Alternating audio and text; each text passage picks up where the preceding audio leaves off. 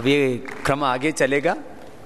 इसमें दसवीं पास भी हैं दसवीं पास के साथ बारहवीं पास श्रद्धे गुरुदेव के अनुसार हमने ऐसे भाई बहनों को भी प्रवेश दिया है। कुछ स्नातक कुछ परास्नातक हैं। तो कितने ऐसे बच्चे हैं जो दसवीं पास हैं और अभी आए जरा हाथ उठाना। जो दसवीं पास हैं वो। खड़े हो जाएँगे गुरुजी करें कि खड़े हो जाइए। जो दसवीं पास करके आए हैं फिर बारहवीं वालों को खड़ा करेंगे। तो एक बार ये दसवीं वाले सबसे छोटे हमारे ब्रह्मचारी ब्रह्मचारियाँ एक बार जोरदार अभिनंदन है इनका। बैठिए। अब जो बारहवीं वाले हैं, वो खड़े हो जाइए। जो बारहवीं वाले हैं, वो खड़े हो जाए। इनकी संख्या थोड़ी ज़्यादा है एक बार इनका भी अभिनंदन हो जाए, जो बारहवीं वाले हैं। बैठ जाइए।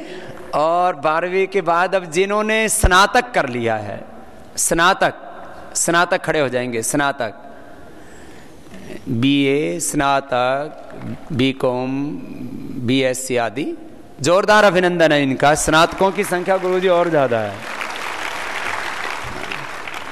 और जो परास्नातक हैं, जो पोस्ट ग्रेजुएट हैं, वैसे परास्नातक तो यहाँ से बनाएँगे आपको परा विद्या देके। लेकिन फिर भी जो पोस्ट ग्रेजुएट हैं, वो भी खड़े हो जाएँगे। और एक बार इनका भी जोरदार अभिनंदन है। ये परास्नातक यहाँ परा विद्या पाने के लिए आ गए। बहुत अच्छा है। तो गुरुजी, सबसे ज़्यादा स्नातक हैं और थोड़े से परा स्नातक हैं, फिर उसके बाद बारहवीं और दसवीं वाले हैं। तो ऐसे युवक युवतियाँ, हमने पहले सोचा था कि हम पहले ही दिन से ये फिर क्लोज कर देंगे सिस्टम, लेकिन हमने अब ये तय किया गुरुजी, क्योंकि अब ये विचार पूरी तरह से पहुँचेगा कि है क्या जीवन, है क्या शिक्षा है क्या हमारा कैरियर जीवन में सफलता किसको कहते हैं? जीवन का मूल्यांकन हम कैसे करें? और जीवन में सुख क्या है? जीवन में समृद्धि क्या है? जीवन में संबंध क्या है? जीवन का बड़ा सत्य क्या है? हम उसको किस तरह से समझे तो वो विषय हम यहाँ विस्तार से चर्चा करेंगे। तो किसी भी जीवन के क्षेत्र में मैंने देखा है कहीं पर भी किसी भी फ़ील्ड में श्रेष्ठ आत्माओं की कमी नहीं है। यद्यपि भौतिकतावादी सोच आज शिखर पर है, इसलिए उस क्षेत्र के लोग ज़्यादा ही स्वाभाविक है। एक समय ऐसा भी था वैदिक युग में जब आध्यात्मवादी सोच के ही मैक्सिमम लोग होते थे। और हमारे इस प्रयास से हो सकता है हम 10, 20, 25, 50 सालों के बाद में ये पूरी दृष्टि बदल दें और पूरी सृष्टि हम बदल दें कि अध्यात्मवादी सोच के लोग बड़ी संख्या में तैयार हो जाएँ। और प्रधानता से किसी बात का कथन किया जाता है। भौतिकता तो है ही ना, ये तो रहेगी। और, आज से ये आध्यात्मिकता क्या है? जीवन की वास्तविकता क्या है? ऋषि ज्ञान परंपरा क्या है?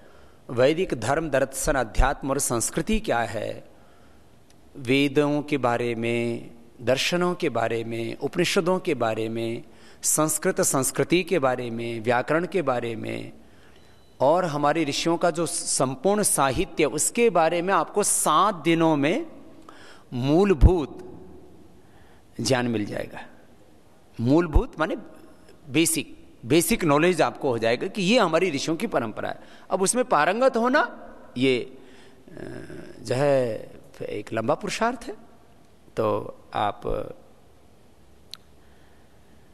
सब तो इसमें यहाँ जुड़ी रहे हैं जो सीधे तौर पर उपस्थित हैं। हमने एक आह्वान के तहत आस्था पर भी हमने आह्वान किया है और एक करोड़ से ज़्यादा लोग हमारे फेसबुक, ट्विटर पर जुड़े, वहाँ पर भी हमने आह्वान किया है। और व्हाट्सएप पर भी ये अभियान शुरू किया हुआ है। और अलग अलग जो दूसरी साइट्स हैं उस पर भी यूट्यूब पर इंटरनेट पर, सब जगह हमने इस मैसेज को आज से वायरल किया हुआ है कि आओ, सब जानो तो सही, है? वैसे अब ये भी होने लगा है। जैसे अंतर्राष्ट्रीय योग दिवस था तो पूरे वर्ल्ड में योग जो है, वो सब पर टॉप पर था। जैसे सोशल मीडिया में पोस्ट चलती रहती हैं, कोई विचार चलता रहता है तो उसमें कौन सा विचार जो है वो उस समय लीड कर रहा है? तो उसमें अब योग भी लीड करता है बार बार अध्यात्म भी लीड करता है, लेकिन ये विचार और आगे बढ़ता रहेगा।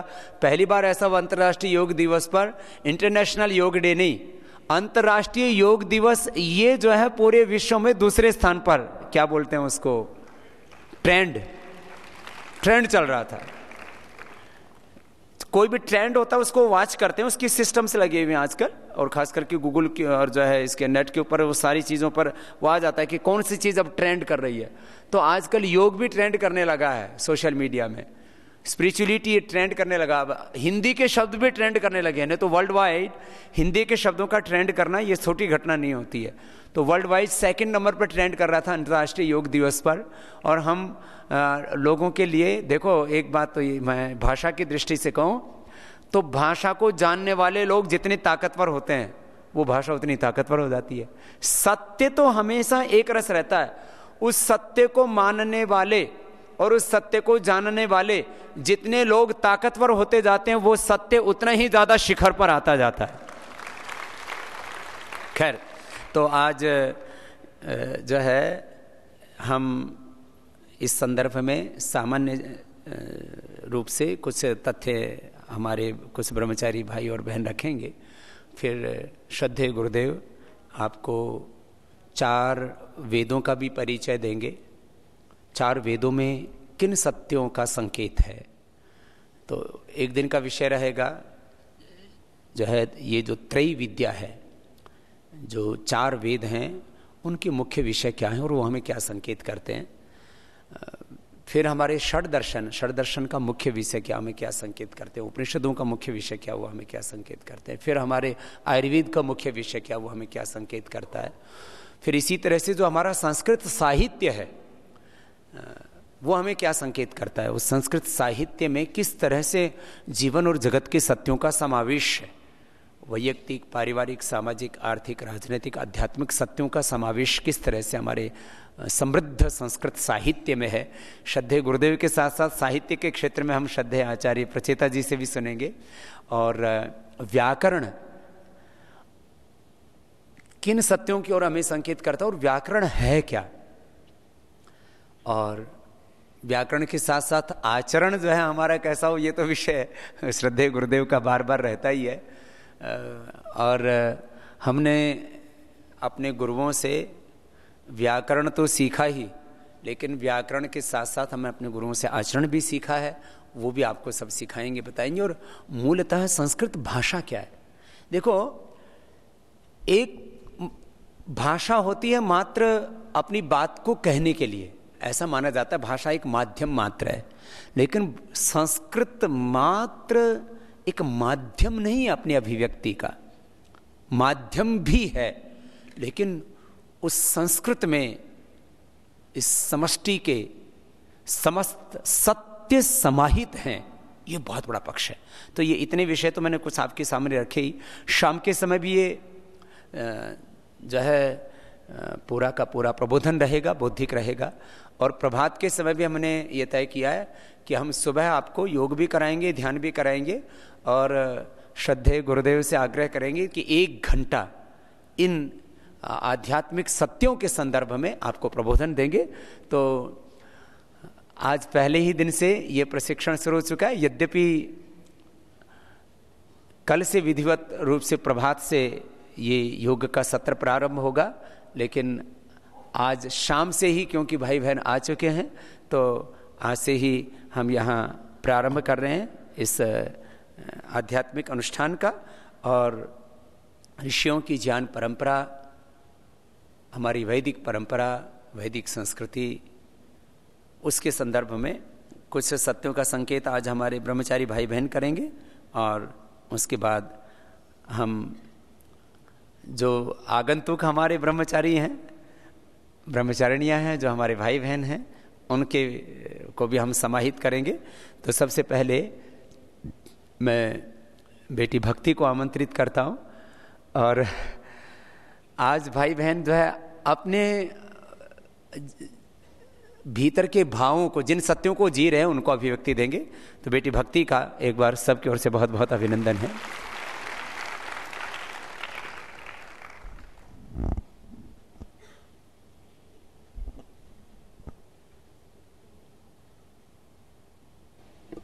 ओम परम पूजने स्वामी जी के चरणों में सादर प्रणाम। परमादरणीय गुरुदेव के चरणों में सादर प्रणाम। उपस्थित सज्जनों को भी मेरा प्रणाम। आज प्रश्न यहाँ ये है कि हम भौतिकता को गौण और आध्यात्मिकता को प्राथमिकता क्यों दें? तो अगर हम गहराई में सोचें तो सबसे बड़ी बात ये आती है कि अधिपूर्वक आत्मिकता मतलब आपका स्वयं पर अधिकार हो। आज हम स्वयं पर अधिकार करना कभी नहीं सोचते। हमेशा दूसरों पर अधिकार, वस्तुओं पर अधिकार, व्यक्तियों पर अधिकार, ये मेरा हो जाए, ये मेरा हो जाए, ये मेरा हो जाए। अगर भौतिकवादियों से पूछे कि आपका अंतिम लक्ष्य क्या है, और अध्यात्मवादियों से पूछे कि आपका अंतिम लक्ष्य क्या है, दोनों का उत्तर एक ही रहेगा। सुख। और सुख से क्या मिलेगी? शांति। तो प्रश्न यहाँ ये उठता है कि हम अगर स्वयं पर अधिकार करते हैं तो हमें ज़्यादा सुख की प्राप्ति होती है। या हम दूसरों पर अधिकार करना चाहते हैं, तब हमें सुख की प्राप्ति होती है। तो अगर हम गहराई में जाएँ तो हमको उत्तर यही मिलेगा कि स्वयं पर अधिकार करने से हमें ज़्यादा शांति मिलती है।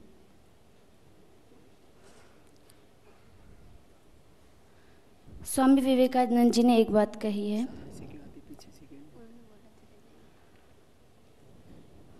मानव समाज से अगर हम धर्म को निकाल दें, पहले हम ये जान लें, जिस प्रकार रसायन शास्त्र एवं विज्ञान के अन्य विभाग भौतिक जगत के सत्यों की चर्चा करते हैं। उसी प्रकार धर्म आध्यात्मिक जगत के सत्यों की चर्चा करता है।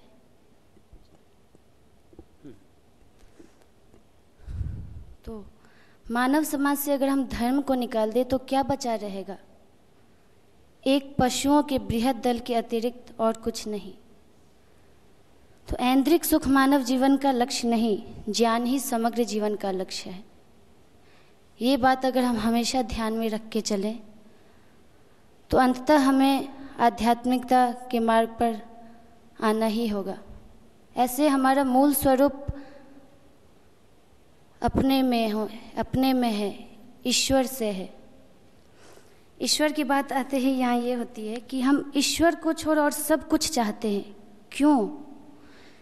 क्योंकि हमारी साधारण कामनाएँ बाहरी संसार के द्वारा पूर्ण हो जाती है। जब तक हमारी आवश्यकताएँ भौतिक जगत की सीमाओं में बंधी रहती है, तब तक हम ईश्वर की कोई आवश्यकता अनुभव नहीं करते। पर जब हमें जीवन में कठोर आघात लगते हैं और जब हम यहाँ की हर वस्तु से निराश हो जाते हैं, तब कहीं कुछ उच्चतर की आवश्यकता हम महसूस करते हैं। तब हम ईश्वर को ढूंढते हैं। ऐसे स्वामी जी हमेशा हमें कहते हैं कि ईश्वर हर हमेशा, हर पल हमारे साथ हमारे साथ है। फिर भी हम उन्हें क्यों नहीं महसूस कर पाते? क्योंकि हमें बाहरी वस्तुओं से क्षणिक सुख मिल जाता है, लेकिन जब हम बहुत ही प्रतिकूल परिस्थितियों में रहते हैं तो जाते हैं ईश्वर के पास। तो मानव जीवन का अंतिम लक्ष्य कहीं ना कहीं ईश्वर ही है। ये सत्य हम सबको एक दिन मानना ही पड़ेगा।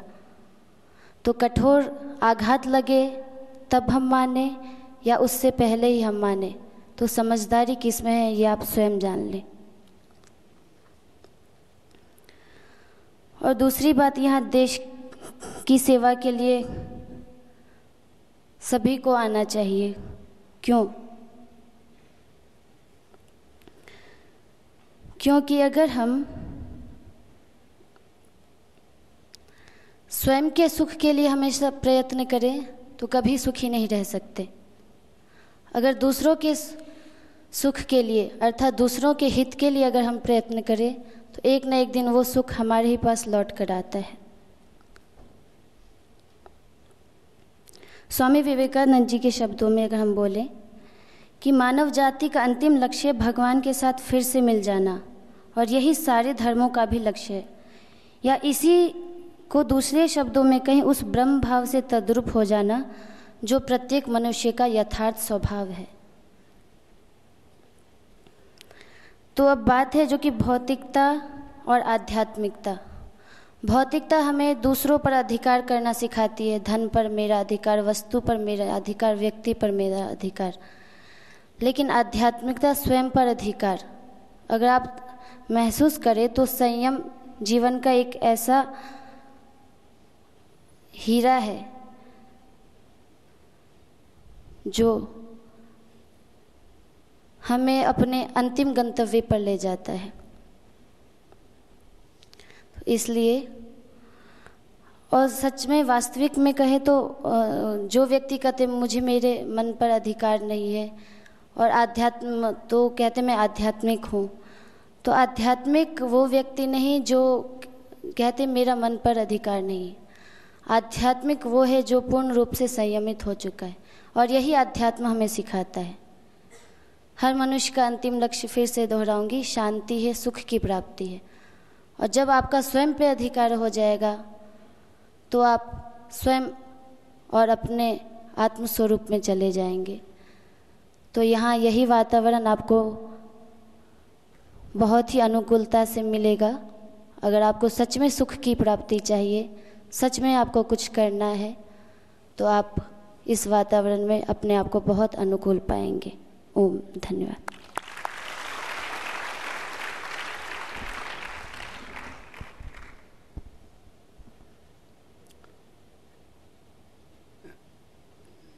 समर्थ गुरु सत्ता जिस सत्य को अनुभव करती है, उसको कहना किसी ऋषि के द्वारा, किसी आत्मवेत्ता के द्वारा, किसी महापुरुष के द्वारा किसी सत्य को कहना लोगों को शायद अपने आप को कनेक्ट करने में थोड़ा समय लगता है। क्योंकि वो ऐसा मानते हैं कि ये जो ऋषि मुनि हैं, ये जो आचार्य हैं, ये जो गुरु हैं ये तो किसी बहुत ऊँची स्थिति को प्राप्त हो चुके हैं।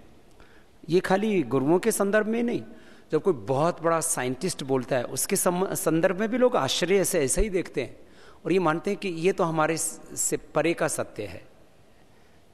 वो अपने आप को पूरी तरह कनेक्ट नहीं कर पाते। जब कोई बहुत बड़ा उद्योगपति, कोई बहुत बड़ा नेता, कोई बहुत बड़ा अभिनेता, कोई भी बात कहता है या किसी भी सत्य को जीता है तो लोग उसको आदर्श मानते हुए भी या उसके प्रति प्रेम, श्रद्धा रखते हुए भी चाहे कहीं अपने आप को कनेक्ट नहीं कर पाते ज़्यादा।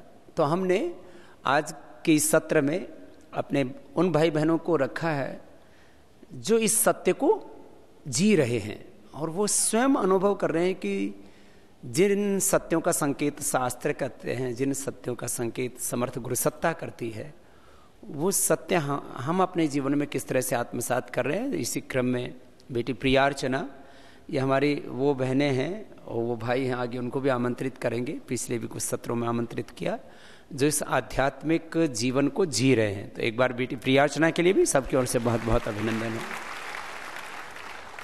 मैं आपसे, आपके विषय में, आपके जीवन की बात करूँगी। जिस तरह जीवन एक रहस्य है, उसी तरह मुझे तो अभी तक ये लगा कि अध्यात्म भी एक रहस्य है। हम सब इसकी खोज में हैं और आप सब भी आइए, आपका भी स्वागत है।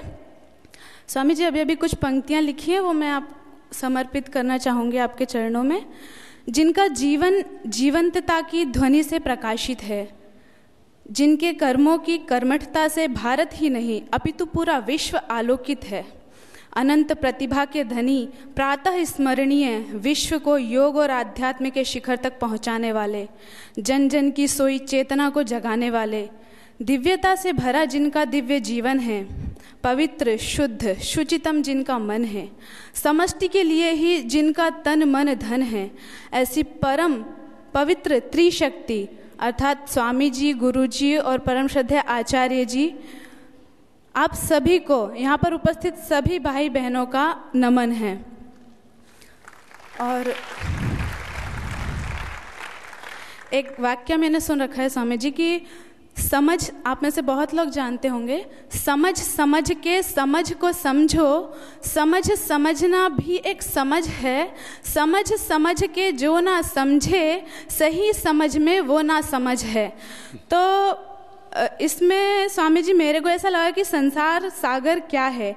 तो अभी ध्यान से सुनिए, आपको दो काम करने हैं। एक तो समझ में से सा हटा दीजिए और आगे धार जोड़ दीजिए। तो संसार सागर क्या है? मझधार है। और पतंजलि योगपीठ रूपी, ये एक नाव है, एक नैया है, जिसके खिवैया कौन है?